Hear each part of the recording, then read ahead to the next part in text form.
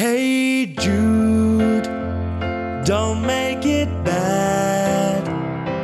Take a sad song and make it better.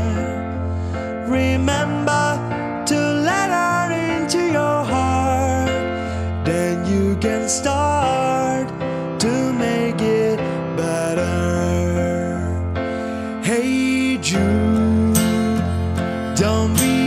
afraid.